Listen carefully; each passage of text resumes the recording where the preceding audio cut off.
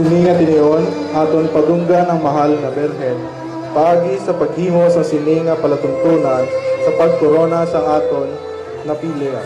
Reyna Elena Sining Santa Cruz. Mga sagalas aton unahon nga alawago. At pagasundan sa mga reyna naton, hindi na naton pagawat-hawaton, aton na sila isa-isa nga tawagon. Ang bisan sino nga may paglaom, may maayo nga palaabuton.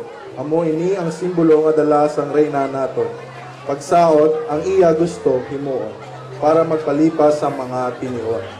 Pagkanta kag pagtukar sang biolin, gusto nga himuon, natao sang Enero 18, 1997, nagikan sa grupo sa mga pamatanon sang Santa Teresita, anak nanday Ginoo kag ginang Arnel kag Angelina Eriman, Hinaupdan sang iya konsorte nga si Razel Labrador. Mga kauturan, aton abi-abihon, ang aton Reyna Esperanza, Angelica Iriman.